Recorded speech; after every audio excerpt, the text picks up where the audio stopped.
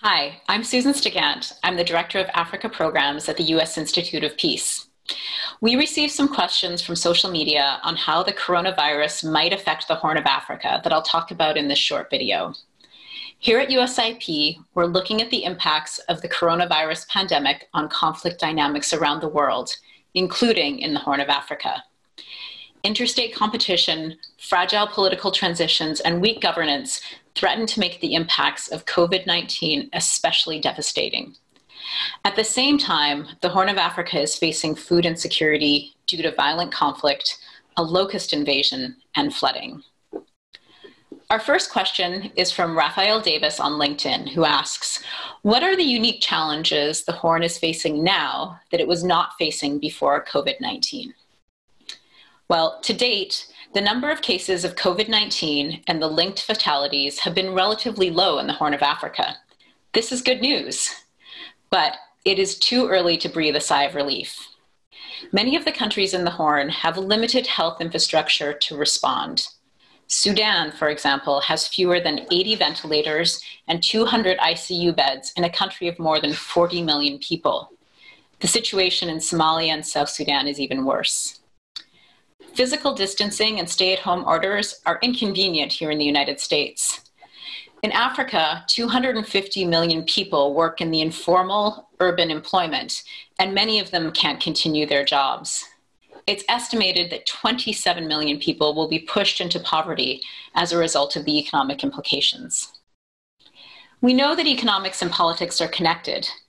In Ethiopia and Sudan, where transitions are at critical points, the economic situation was dire before COVID 19. Long lines for fuel, for example, in Sudan, is contributing to people's frustrations. But it's not all bad news. COVID 19 depends on collective action for an effective response. And there are promising signs that the government of Ethiopia and the political opposition, for example, will find ways to work together to address the pandemic.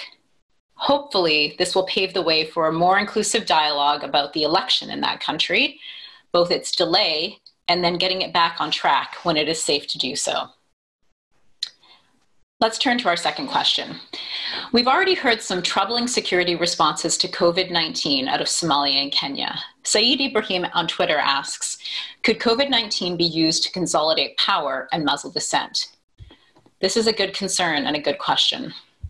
Several countries in the Horn of Africa have issued stay at home orders, declared a state of emergency, or limited specific rights in response to the pandemic. Emergency powers should be used strictly and judiciously to manage the public health crisis. They should not be used to stop broader political dissent. If we imagine back one year ago, hundreds of thousands of Sudanese were mobilized in mass demonstrations that ultimately led to the transition and the current government. Today, civic groups have to be more creative about ways to mobilize action and provide oversight. This is particularly important at a moment when budgets and funds are being allocated to the health response. The African Commission on Human and People's Rights has highlighted principles of ways to use states of emergency or limit, limit rights in a responsible manner. And there are good examples of active roles by human rights commissions in the region, including in Ethiopia. Okay, next question. The Horn of Africa sits at a strategic crossroads between Africa and the Middle East, meaning that it is a busy corridor for trade and migration.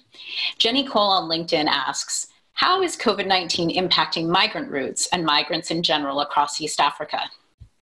Yes, this is something we need to watch. There were reports last week about Ethiopian workers being forcibly returned from Saudi Arabia and concerned that the necessary public health precautions were not in place. We also need to remember that people who are leaving their homes involuntarily are doing so on the basis of some serious threat or fear. Many people are rightly concerned about the protection of these people. There is also regular migration across Africa. This is often a source of conflict between pastoral and migrant groups, and we need to track carefully the public health implications on these groups. As we close, let me remind you that USIP's Senior Study Group on China and the Red Sea Arena just released their new report on China's impact on conflict dynamics in the Red Sea. You can check it out on usip.org. It includes some reflections on how China might play a role in mitigating the spread of COVID 19 in the Horn, China's strategic influence there, and the complicated China US Africa relations. Thanks to everyone who submitted questions on social media. I encourage all of you to keep the conversation going by using the hashtag COVID and conflict and to visit our website for more resources.